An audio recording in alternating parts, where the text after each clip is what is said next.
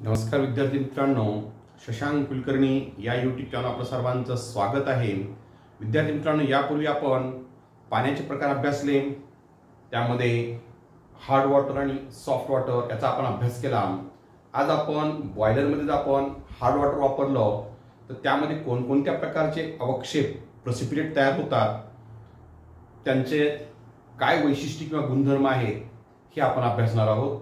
तर विद्यार्थी मित्रांनो आपल्याला माहिती आहे कंपनीमध्ये किंवा इंडस्ट्रीमध्ये आपण वाफेच्या निर्मितीसाठी बॉयलरचा वापर करतो आणि या बॉयलरमध्ये आपण पाणी वापरतो. जेव्हा ह्या बॉयलरला आपण उष्णता देऊन पाण्याची वाफ बनवतो त्यावेळेस पाण्यामध्ये विरघळलेले जे क्षार असतात इम्प्युरिटीज असतात कोणते?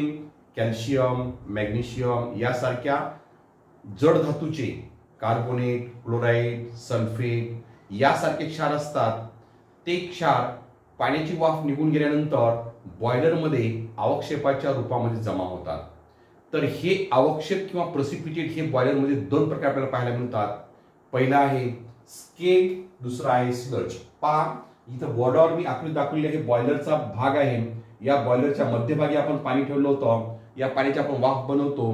जेव्हा पाण्याची वाफ सतत निघून जाते त्यावेळेस पाण्यामध्ये विरघळलेली इम्प्युरिटीज किंवा क्षार हे बॉयलरमध्ये जमा होतात तर दोन प्रकारचे असतात. त्यामध्ये स्केल आणि स्लज प्रसिपिटेट स्लज प्रसिपिटेट आणि स्केल प्रसिपिटेट तर स्लज प्रसिपिटेट कुणाला म्हणायचं?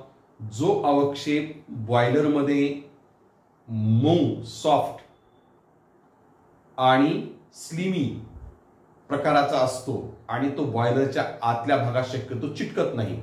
अशा प्रसिपिटेटला स्लज प्रसिपिटेट म्हणायचं.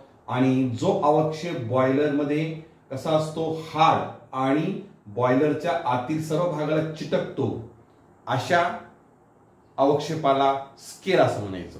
लक्षात? तर यामध्ये विचार केला दोन प्रकारचे आपले अवक्षेप आहे आपण पाहिले. तर पहिला आहे स्केल आणि दुसरा आहे स्लज प्रोसिपिटेड बरोबर आहे? तर आपण काय पाहिलं? जो अवक्षेप बॉयलरमध्ये कसा असतो? हार्ड नेचर आणि अडहिरंट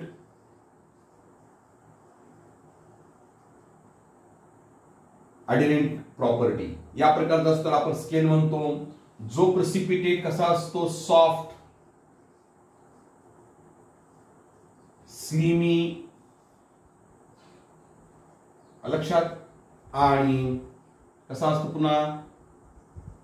Not adherent in the boiler part अशा आवश्यकला काय म्हणायचं? स्लज प्रेसिपिटेट लक्षात? त्यानंतर विचार केला आपण. तर स्केल हा बॅड कंडक्टर ऑफ हीट उष्णतेचा दुर्वाहक असतो आणि हा कसा असतो? पुअर कंडक्टर ऑफ हीट हा नॉन पोरस नेचर असतो नॉन पोरस आणि हा कसा असतो? पोरस इन नेचर सचिद्र असतो हा.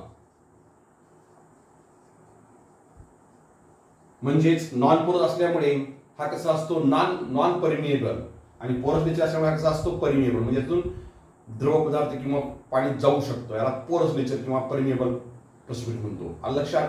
त्यानंतर विचार केला आपण यामध्ये तर हा हॅमरिंग किंवा चिसल किंवा तीक्ष्ण भागाने रिमूव्ह करता येत नाही. They can not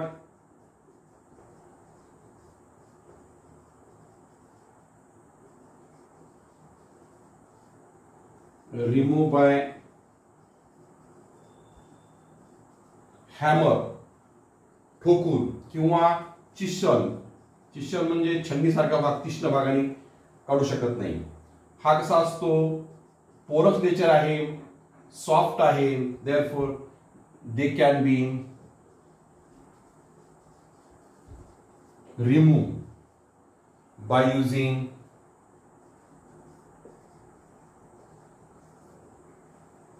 brush.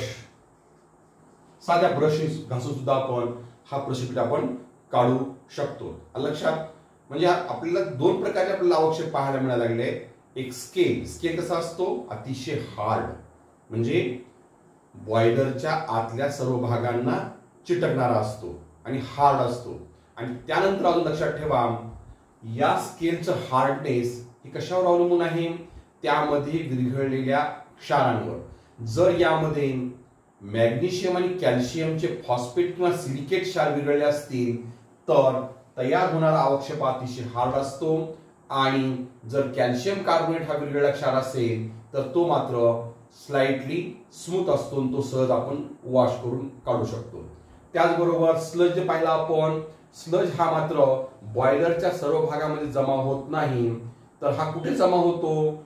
ज्या ठिकाणी पाणी हळुवार वाहतं किंवा थंड भाग असतो. उदाहरणार्थ आपण पाहू पाईप कनेक्शन्स ओपनिंग ज्या ठिकाणी असते प्लग प्लगची प्लग ओपनिंग असते अशा ठिकाणी हा स्लज जमा होतो. त्यानंतर स्लज कशामुळे तयार होतो? जे क्षार गरम पाण्यात विरघळले असतात विरघळू जास्त शकतात पण कमी थंड पाण्यात कमी विरघळतात अशा क्षारांमुळे स्लज फॉर्म होतो. उदाहरणार्थ magnesium chloride magnesium sulphate calcium chloride यासारखे गरम पाण्यामध्ये विरघळणारे पण थंड पाण्यात कमी विरघळणारे या क्षारांमुळे स्लज प्रसिपिटेट तयार होतो. तर तुम्हाला हा दोन्ही अवक्षेपामधला प्रसिपिटेटमधला फरक समजला असेल. आणि हे दोन्ही प्रसिपिटेट बॉयलरमध्ये तयार झाल्यामुळे हे बॉयलरच्या कार्याला फंक्शनला डिस्टर्ब करतात. म्हणून कमीत कमी ज्यावेळेस आपल्याला स्टीम बनत त्यावेळेस शक्यतो जास्त क्षार विरघळलेलं पाणी बॉयलरमध्ये स्टीमसाठी वापरू नये लक्षात you know that the waters are mainly classified into two types soft water and hard water generally the boilers are used in the industry for the formation of steam if you use the hard water in the boiler for the generation of steam then what happens generally two types of precipitate is formed in the boiler because the what is the functions of boiler boiler continuously generate the steam from the water. When you generate continuously steam in the industry by using the boiler, then what happens? In the boiler, only soluble impurity remains in the boiler in the form of precipitate. This precipitate is mainly observed in two forms one is the soft precipitate, another is the hard precipitate. The precipitate which are hard in nature and, and they are adherent inside the boiler. Such precipitates are called scale. And the precipitate which are soft, slimy in nature and they are not adherent to the inner part of boiler such precipitates are called as the sludge. I understand? What is the difference between these two precipitate? It is a hard in nature and adherent inside the boiler. Sludge is a soft, slimy and not adherent in the inside the boiler. Next, the scale precipitate is bad conductor of heat, but sludge is a poor conductor of heat. Next point is the scale is a non-porous in nature. Therefore, due to the non-porous nature, it is a not permeable. Sludge is a porous in nature, therefore it is a permeable precipitate. Next point is the um, due to the hard nature of scale, when the scale is adherent inside the boiler, then these hard scale do not remove by using the hammer or chisels. But the sludge is a soft in nature, therefore they are easily removed by using only brushing also.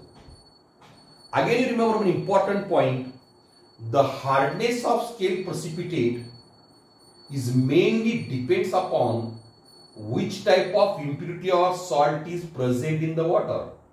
if the water contain the phosphate and silicate salts, then the precipitates are very hard in nature. Such type of precipitate not easily removed by hammering of chisels. If the hard water contain the calcium carbonate salt, then the precipitate of scale is formed. They are not very hard in nature. They are easily removed. Understand? This is the properties of scales. And in, in case of sludge, why the sludge is formed inside the boiler? If the hard water contain the salt which are more soluble in hot water but less soluble in cold water like magnesium sulfate, magnesium chloride, calcium chloride. Such type of salts are highly soluble in hot water but less soluble in cold water if the such type of salt is present in the water, at that time sludge precipitate is observed and you remember the sludge precipitate is accumulated where is the flow of water is less and in the boiler the region having the cold condition. In such region the sludge precipitates is collected. Understand? You remember the important point, scale and sludge both precipitates disturb the functions of boilers. Therefore, generally use the water in the boiler which are soft in nature or if the water is hard water then the hard water convert into soft water by using the any suitable methods and remove the soluble impurity or salts then use the water in the boiler for the formation or generation of steam. At that time, scale and sludge precipitate is not observed. I understand? Question may be asked in the examination on these points. Write the properties of scale, write the properties of sludge, or define scale or and sludge, or distinguish between scale and sludge. Such type of question may be asked in the examination. तर या पॉईंटवर या प्रकारचे प्रश्न विचारू शकतात आणि या आजच्या व्हिडिओवर जे शिकवलेलं आहे त्याचे मुख्य पॉईंट्स हे कुठे दिलेले आहेत? डिस्क्रिप्शन बॉक्समध्ये दिलेले आहेत. तर हा व्हिडिओ पहा. डिस्क्रिप्शन बॉक्समध्ये नोट्स वाचा आणि होमवर्क लिहून काढा. म्हणजे आपल्या व्हिडिओचं वैशिष्ट्य काय?